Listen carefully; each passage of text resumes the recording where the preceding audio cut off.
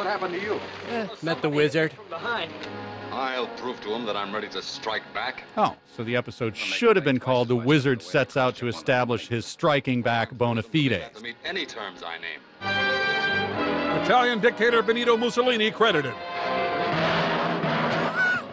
Graduate Manu Ginobili School of Flopping. I suggest you release him to the custody of his sister. It's a good idea. Yeah, he's only lured her to mortal danger twice so far in this series. Maybe third time will be a charm. You know, of the series' four locations, this is definitely one of the top four. Batman and Robin have got to follow through. Ah, yes, the Dark Knight's tormented personal mission to follow through. A sad car for Batman and Robin, but you should see Green Arrow's vehicle. Just a bunch of milk crates with wheels nailed on it. Batman Kong angry! It's time for real